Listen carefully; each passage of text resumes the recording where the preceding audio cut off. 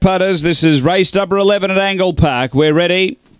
Away, very good speed. Brando Brown out wide is going to push on and look for the front, and it got over the fave. Brando Brown out by three or four. Charlie Zeller through to second. Uh, they were followed by Banker Bale and then Inga Bale uh, behind those official label. Then Gunlock at last is Fayette down the back. Brando Brown, uh, length and a half or so on Charlie Zeller. Running on is Banker Bale. They're up to the bend.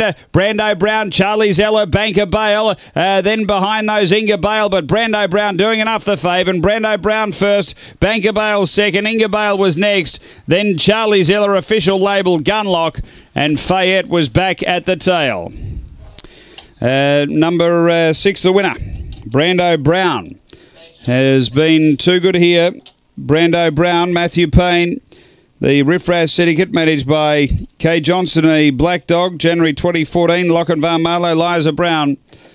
Uh, number six, the winner. Second to five, Banker Bale, Lisa Rasmussen.